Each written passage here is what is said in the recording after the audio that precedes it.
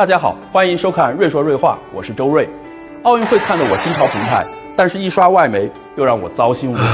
金牌就不说了，少了，嗯，中国出现了问题；多了，呃，看呀，没有感情的金牌机器。数字他们也不好好报，金牌追不上了，咱们排奖牌榜；奖牌追不上了，咱们来个人均奖牌榜。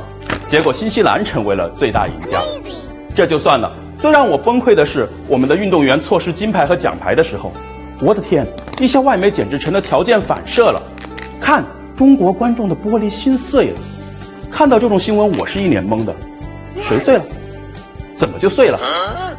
给大家举个例子，被国人寄予厚望的女排小组就被淘汰了。最后一场结束的时候，运动员围成一圈给郎平鞠躬，同时赛场上响起了《阳光总在风雨后》的音乐，网络上一片都是感动。玻璃心在哪里？这让我想起当年刘翔退赛的时候，其实很多人可能不记得了，鸟巢也是有放过歌的，《海阔天空》，同样也是经典，同样也是感动。遗憾的是，当时的确很多人跟风指责刘翔，所以这一次苏炳添上热搜的时候，很多人就涌入了刘翔的微博，说对不起，当年你跑得太快，是我们的素质跟不上。刘翔说不必道歉，人都会成长。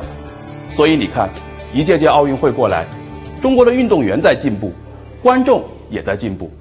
这次奥运会回顾过来，就算输了，只要是技不如人，大家也都是接受的，愿意为运动员喝彩，愿意为对手喝彩。